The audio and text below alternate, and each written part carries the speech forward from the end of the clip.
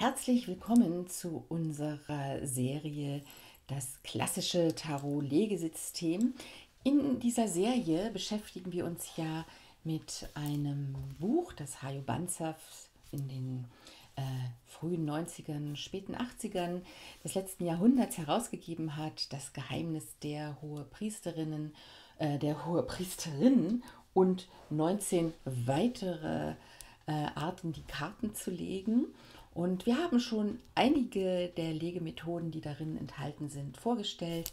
Schau dir dazu einfach die Playliste an, die wir dafür erstellt haben. Und äh, heute möchte ich euch ein weiteres System aus diesem ähm, Deck vorstellen, äh, aus diesem Buch vorstellen. Und zwar habe ich dazu auch schon einen Blogartikel geschrieben.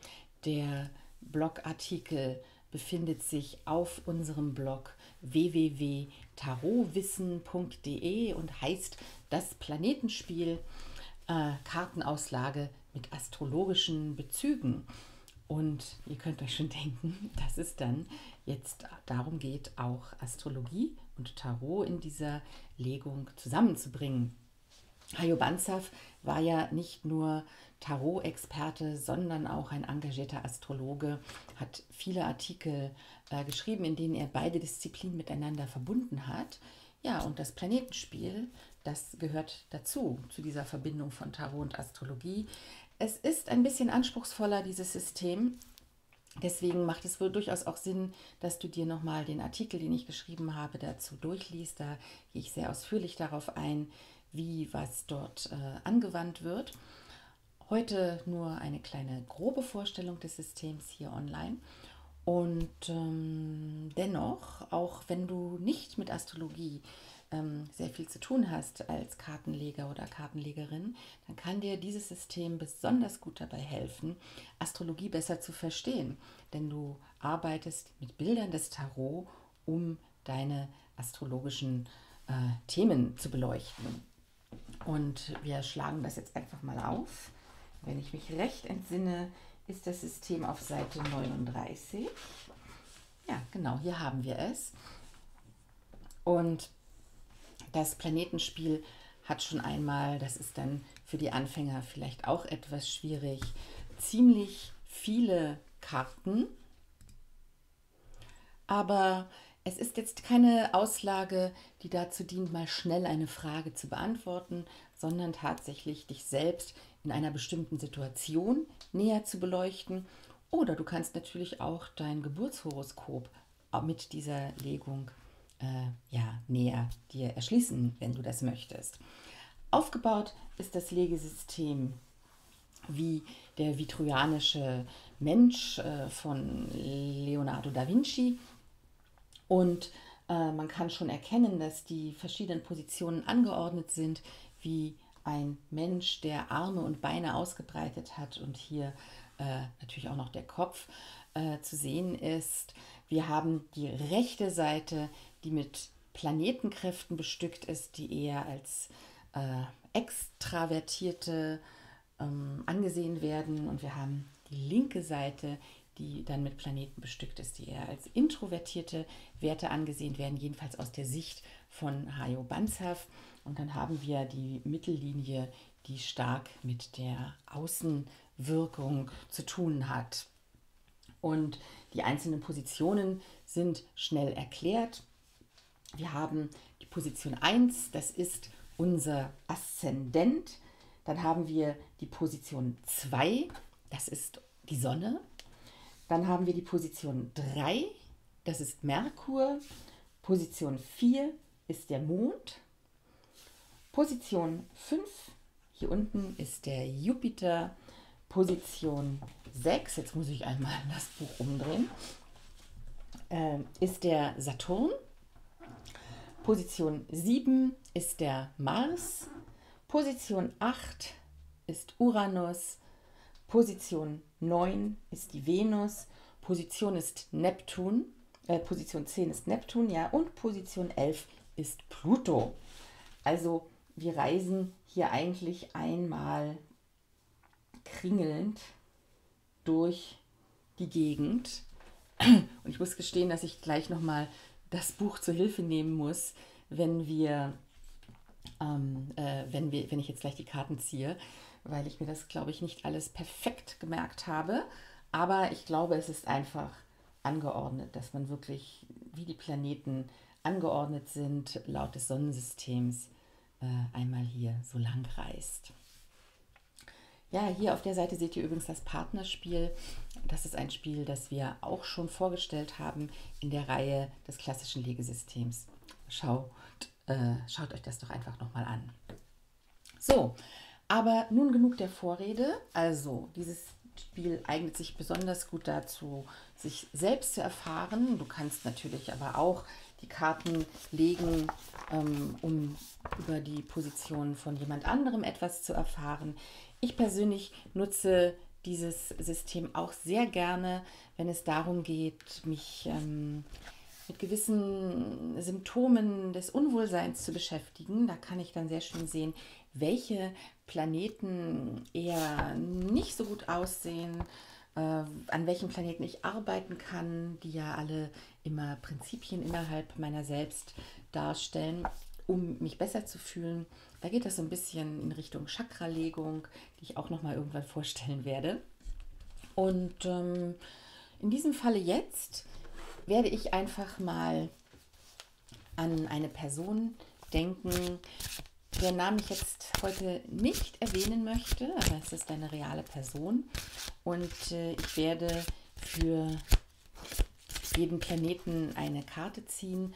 Und wenn du keine astrologischen ähm, ja, keine astrologische Vorbildung hast, dann ist es vielleicht ein bisschen schwierig, die einzelnen Planeten dann den unterschiedlichen äh, Themenbereichen zuzuordnen. Dazu empfehle ich dir bitte auch nochmal auf meinen Blog zu gehen, weil da ist es wirklich sehr genau aufgegliedert. Da habe ich alle Positionen genannt. Wenn du dich damit nicht auskennst, wenn du dich damit auskennst, wenn du weißt, wofür die einzelnen Planeten stehen, dann musst du dich da auch gar nicht strikt dran halten, sondern kannst das benutzen, was du als richtig hältst für deine ähm, äh, ja, für deine Schlüsselworte für die einzelnen Planeten. Und das bringt mich noch dazu, ich werde oft gefragt, was kann ich denn Einsteigern in die Astrologie als Buch empfehlen? Es gibt unglaublich viele Bücher. Auch im Blog findest du eine Literaturliste zur Astrologie. Verlinke ich auch nochmal. Und gleichzeitig würde ich sagen, die Schlüsselworte von Hayo Bansaf sind für Tarot-Einsteiger wirklich gut geeignet, gerade äh, für, Astrologie-Einsteiger wirklich gut geeignet, gerade wenn man sich auch viel mit Tarot beschäftigt, weil da sehr schöne Schlüsselworte einfach genannt werden zu den einzelnen äh, Planeten, Häusern, Aspekten, die man auch gut mit Tarot in Verbindung bringen kann. Also das wäre jetzt so mein Einsteigertipp für heute. Ja, ich habe inzwischen die Karten gemischt. Ich nehme heute zur Abwechslung mal wieder das äh, mystische Tarot von der Katrin Welzstein und werde nun einfach mal auslegen. Und wie üblich ist es so, dass äh, die Karten leider sehr groß sind. Ich muss irgendwann mal Miniaturkarten ähm, anfertigen lassen. Deswegen werde ich das hier äh, im kleinen Rahmen machen und die Karten dann einzeln beleuchten. Aber du zu Hause, du kannst das natürlich viel besser im größeren Rahmen tun. Du siehst, lege ich sie hier einmal so im Kreis und das bringt mich dahin, dass ich das dann irgendwie alles wieder ausfächern muss. Das war jetzt, glaube ich, gar nicht so geschickt. Ja, so, aber so in der Art und Weise würde dieses Deck ausgelegt werden. Und ich ähm, fächere das jetzt einfach nochmal rückwärts wieder zusammen, damit ich euch dann die einzelnen Karten vorstellen kann. Tatsächlich ist es aber so, dass einzelne Karten ähm, zu betrachten in einer Tarotlegung nicht die beste Methode ist. Ich empfehle dir immer, ähm, das Gesamtbild einer Legung zu betrachten, bevor du Aussagen triffst. Denn wenn du nach und nach die Karten umdrehst, dann reagierst du vielleicht falsch auf die Karten und äh, du brauchst auch den Gesamteindruck, um eine Legung richtig zu interpretieren. Dennoch mache ich es diesmal anders. Äh, ich habe hier als Aszendent, der für das Auftreten nach draußen, aber auch spontane Reaktionen steht, die fünf der Schwerter gezogen und ich kann damit gleich sehr viel anfangen, wenn ich an die Person denke. Es geht hier definitiv darum, äh, eine sehr schöne Darstellung übrigens, ähm, finde ich, wenn ich mir diese Karte betrachte, fünf der Schwerter, ähm, dass es Probleme macht, nach draußen auf, aufzutreten. Hier habe ich die, das Gefühl, ähm, da ist eine helle Seite der Macht und eine dunkle Seite, eine Schattenseite. Und diese Schattenseite ähm, stärker zu integrieren in diese sonnige Seite, könnte hier durchaus ein Problem bei der Person darstellen. Position 2, die für die Sonne steht, da habe ich die 4 der Stäbe gezogen. Ja, die, die sagt mir, dass dieser Mensch hier ähm, äh, an einem, nicht an einem Scheideweg steht, aber äh, auf einem Plateau steht, was seinen Energiehaushalt betrifft. Die, ist das ein, ein, ein Mann? Ich habe mich jetzt äh, ein bisschen hier verraten. Und ähm, dass er durchaus überlegen muss, wie er jetzt weiter nach draußen in die Welt auch geht. Wir haben zweimal das Thema für mich nach draußen in die Welt gehen. In welcher Form tue ich das? Beiden Karten fällt mir sofort auf, dass ähm, wir hier jedes Mal zwei Personen abgebildet haben, die vielleicht in einer Weise integriert werden müssen. Die Sonne, das ist ja unser vitales äh, System, das ist unser Wesenskern. Und da scheint es, äh, ich sehe hier ein Haus draus, äh, drauf, ähm, Thema Lockdown sehr stark darum zu gehen, vielleicht wieder mehr Freiheit zu haben. Ich finde überhaupt, dass das mir sofort das Thema Vitalität ins Auge springt, wenn ich diese beiden Karten sehe. Die Sonne hell, es scheint eigentlich alles gut zu sein vom Wesenskern her, aber das nach draußen gehen, das ist hier definitiv ein Problem mit Maske. Und ähm, ja, da würde ich sagen, geht es vor allem darum, hier jetzt erstmal herauszufinden, was ist mein nächster Schritt? Was ist mein nächster Schritt, um mehr mich selbst zu leben, Sonne? Und wie kann ich das ausdrücken? Ja, die dritte Karte, die steht für den Planeten Merkur, für meine Kommunikation, dafür, wie ich ähm, auf andere Menschen zugehe, wie ich denke, welche Haltung ich habe.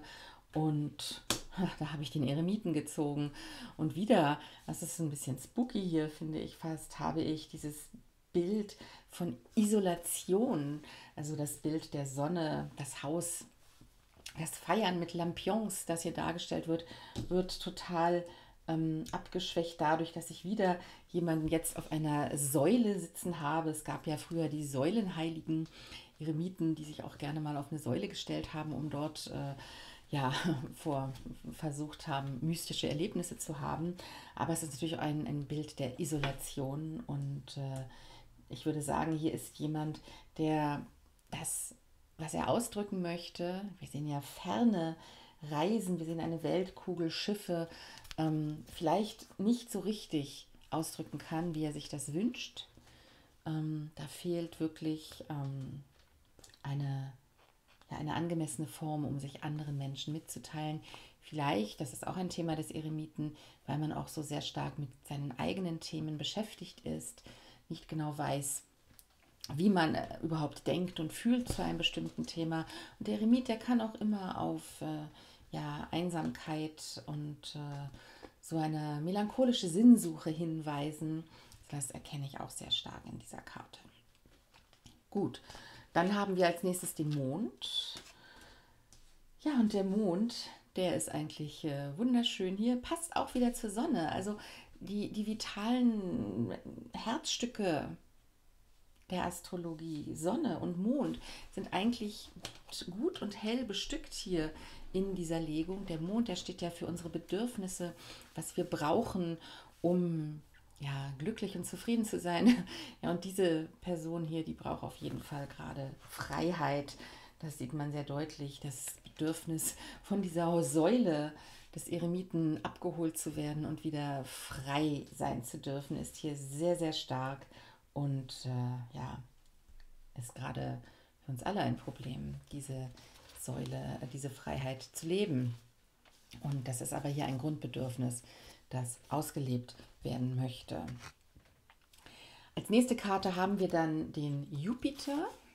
Der Jupiter, der steht für Sinnfindung, für unsere Ideale, daran, was wir glauben, äh, unsere Ethik vielleicht auch. Und da habe ich die sieben der Stäbe gezogen. Also wieder ein Bild von, ich will frei sein, ich will nicht länger eingesperrt sein und ich glaube fest daran, dass mir das auch zusteht. Ähm, fällt mir sofort dabei ein. Hajo Banzaf schreibt zu dieser Position auch Gerechtigkeitsempfinden. Und ich würde sagen, dass diese Person hier sich wirklich gerade ungerecht behandelt fühlt und sehr unter der aktuellen Situation leidet, die aber schicksalsgegeben zurzeit vielleicht wirklich nicht veränderbar ist.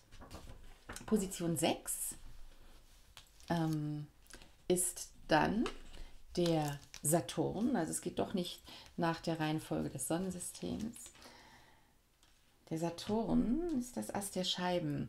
Und das ist für mich eine positive Nachricht, denn Saturn steht ja für unsere Strukturen, für unsere Verantwortung, für das, was, wovor wir vielleicht auch Angst haben und äh, was äh, als nächstes so dran ist, um mehr Dinge im Leben zu materialisieren. Und da habe ich die wunderschöne Ast der Scheiben gezogen. Und das Ast der Scheiben steht hier in diesem Deck für mich dafür, dass auch wenn hier viel von Ungeduld die Rede ist und von mehr dem Bedürfnis nach Freiheit, Saturn, der ein harter, aber guter Lehrer ist. Wir kommen ja am 20. März jetzt auch in das Jahr des Saturns, ne? langsames Wachstum äh, der dafür sorgen wird, dass dieser Person, auch wenn sie jetzt ungeduldig und frustriert ist, ähm, etwas Positives aus der ganzen Sache erwachsen wird, wenn sie nur weiter mit Vertrauen an die Sache geht und vor allem mit Verantwortung und sich überlegt, okay, wie kann ich Verantwortung übernehmen in einer Zeit, in der uns so viele Eigenverantwortung abgenommen wird. Nicht im positiven Sinne gemeint, das abgenommen werden. Ja, und wie sie das tun kann, das sagt uns die nächste Position, Position 7. Das ist der Mars, der hier oben hingelegt werden würde. Ja, und wie spannend, wieder eine 4 und wieder das Thema des Hauses, was wir schon bei der Sonne hatten. Aber diesmal geht es darum, die Begrenzungen, die wir auch in den sieben äh, der Stäbe nachvollziehen können, zu akzeptieren und von zu Hause aus äh, die Freiheit sich zu holen, die wir jetzt nicht im Außen haben können. Äh, ich finde es ganz toll, wie diese Frau hier dieses Haus quasi verinnerlicht und es zu ihrem eigenen macht. Das ist übrigens eine Lösung, die ich persönlich auch für mich gefunden habe, indem wir jetzt gesagt haben, wir investieren nochmal ordentlich darin, unser Haus unsere Wohnung schöner zu gestalten, damit wir irgendwie ein bisschen mehr Lebensqualität haben in der Zeit, in der wir einfach begrenzt sind mit dem nach draußen gehen. Und äh, so nehme ich das hier auch wahr. Also das herauszuholen an dem häuslichen Dasein, was wir halt herausholen können und ja, mit den Begrenzungen klarzukommen, ohne aggressiv zu sein. Äh, dieses Deck gemahnt hier schon, diese Auslage gemahnt hier schon sehr zur Ruhe und Gelassenheit, muss ich ganz ehrlich sagen. Ja, damit bin ich auch schon bei Position 8 angelangt. Position 8, die steht für Uranus, die höhere Oktave von Merkur. Deswegen ist sie hier im Deck auch für äh, über dem Eremiten angebracht, der für Merkur steht. Und passend, sehr passend, also dieses, äh, die Auslage ist wirklich toll, die muss ich mir gleich nochmal aufschreiben, habe ich den Narren gezogen. Und der Narr, der wird in Tarot gerne mit Uranus sowieso in Verbindung gebracht. Und gleichzeitig ist es, glaube ich, das erste, nein, der Eremit war auch äh, äh, ein großes Arkanum.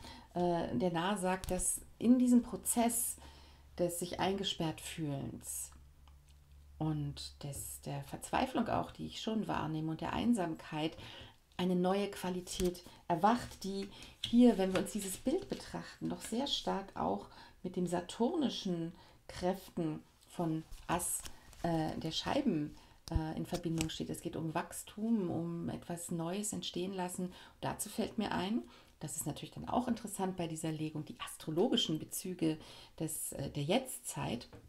Jetzt gerade befinden wir uns äh, zwischen einem, äh, einem Spannungsaspekt gesellschaftlich gesehen von dem Planeten Saturn und Uranus. Die bilden ein Quadrat. Und die beiden, auch wenn sie gerade ähm, ja, sehr in Divergenz stehen, ähm, gesellschaftlich gesehen, bringen Wachstum hervor. Und das ist eine Hoffnung, die jetzt äh, nicht nur für diese Person aus meiner Sicht da ist, sondern für alle Personen, ähm, für mich auch, äh, dass das, was jetzt gerade passiert, letztendlich auch ein Wachstum zur Folge haben wird, was uns in irgendeiner Weise glücklicher werden lassen kann. Ja, Uranus. Und nach Uranus, ich, ihr seht, ich bin da nicht so ganz firm, kommt Position 9. Position 9 ist der Planet Venus. Und ähm, ich habe gar nicht gesagt, wofür Uranus steht. Also Uranus steht für ähm, unsere, die neuen Wege, die wir einschlagen wollen, vielleicht für das, was ähm, wir geistig kreativ entwickeln können, um nach draußen jetzt zu gehen oder welches Thema ihr auch immer behandelt, ähm, zu leben. Und es steht ähm, auch dafür, ähm, wo wir halt unser Freiheitsbedürfnis besonders stark ausleben wollen. Und Venus, die nächste Karte jetzt, die steht für unsere Lebensfreude, äh, die Art und Weise, wie wir genießen im Leben. Ja, und da sehen wir hier ganz stark das Bedürfnis, mit anderen Menschen zusammen zu sein, sie wieder in Verbindung zu gehen, eben nicht mehr eremitisch vor uns hinzuleben. Und äh, ja, da muss man halt schauen, wie man das hinbekommt. Ich weiß zufällig, dass diese Person, an die ich jetzt gerade denke, in der kommenden Woche wieder ähm, mehr unter Menschen kommt, als es ihr bisher gelungen war. Und äh, gleichzeitig sagt diese Karte, es gilt auch darum, die wahren Freunde zu erkennen, also nicht nur irgendwelche Zufallsbekanntschaften, sondern Menschen, die auch längerfristig eine große Bedeutung haben, mit denen möchte sich oder sollte sich diese Person vereinigen. Ja, Position 10 ist dann Neptun, der für unsere Träume, Visionen, und Sehnsüchte steht. Und auch da habe ich eine wunderschöne bunte Karte gezogen. Die 10 der Stäbe allerdings, die ja doch auch von energetischer Überbelastung sprechen kann. Hier in diesem Fall dargestellt von einer Frau, die durch Blumen erdrückt wird quasi. Auch sehr hübsch. Also eine Überwucherung dieses natürlichen Prozesses, den wir auf dem, der Uranus-Karte und auf der Saturn-Karte sehen. Ich würde das jetzt so übersetzen, dass die, die Veränderungen, die stattfinden, die Wachstumsprozesse, die eingeleitet werden, diese Person zum jetzigen Zeitpunkt stark überfordern und die, all die Sehnsüchte, die er hat, halt nicht gelebt werden können und die ihn quasi erdrücken und er aufgefordert ist, hier sich eine einzige Blume zu pflücken und mit der dann nach vorne zu gehen und, und ja, in irgendeiner Weise ein einen Sehnsuchtspunkt zu leben und Träume besser zu stärken. Ja, und die letzte Position, die ich habe, das ist Pluto. Und für Pluto, der für transformative Prozesse steht, habe ich die zwei der Schwerter gezogen. Auch wieder ein schönes Bild von Fruchtbarkeit, ähm, die quasi daraus erwächst, dass man zur Ruhe kommt, den Kopf das Kopfkino abstellt, die Sehnsüchte zurückstellt und äh, sich entspannt. Ja, was würde ich jetzt dieser Person raten? Diese Person, die kämpft sehr stark damit, ihre äh, innere Unruhe, ihren Gerechtigkeitssinn, ihren Freiheitsdrang nicht ausleben zu können. Und so schwer es für diese Person ist, sie muss sich damit arrangieren, dass das auch so schnell nicht passiert, dass sie nicht so schnell nach draußen gehen kann, wie sie sich das wünscht, jedenfalls nicht in dem Maße, wie sie sich das wünscht. Und sie sollte es als gute Gelegenheit sehen, nochmal sich klar zu rücken, was denn gerade wächst im Leben, nicht nur auf das den Fokus legen, was ähm, gerade besonders schwierig ist. Für diese Person scheint mir das Thema Einsamkeit ein großes Thema zu sein und daraus erwachsend auch das Thema Seiten an sich selbst zu entdecken, Schattenseiten an sich selbst zu entdecken, die ihm vielleicht noch nicht bewusst waren und die jetzt stärker nach vorne kommen. Und da es zu schaffen, diese dunklen Seiten zu integrieren und zu leben, das scheint mir ein wichtiges Thema hier zu sein. Ich könnte jetzt noch stundenlang über diese Legung reden, weil sie ist wirklich sehr spannend und ich finde auch die Bilder von der Katrin Weltstein total ansprechend. Ich habe noch nie eine richtige Legung mit diesen Karten gemacht.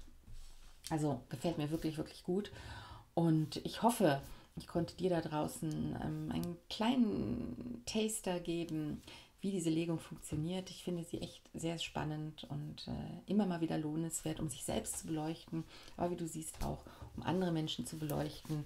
Und jetzt rein von der Farbgebung her würde ich mal sagen, okay, schau dir an, was gerade auf deinem Aszendenten los ist. Ich werde da nachher gleich mal ins Horoskop gucken.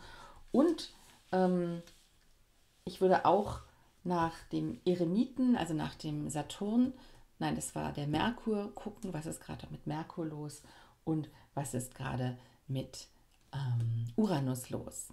Denn diese beiden äh, Karten sind große Arkana, die scheinen das wesentliche Thema jetzt erstmal zu sein. Und wenn du mehr Astrologie kannst, dann kannst du da ganz tolle Vergleiche ziehen. Ja, das war's für heute mit der Serie Das klassische Legesystem. Ich wünsche dir noch ganz viel Spaß bei unseren vielen anderen Videos, die immer mehr werden. Und ich freue mich sehr, wenn du unseren Kanal abonnierst, die Glocke läutest und vor allem auch anderen Menschen von uns erzählst. Dir noch einen wunderschönen Tag oder eine wunderschöne Nacht, was immer du gerade machst. Und vielleicht bis auf bald.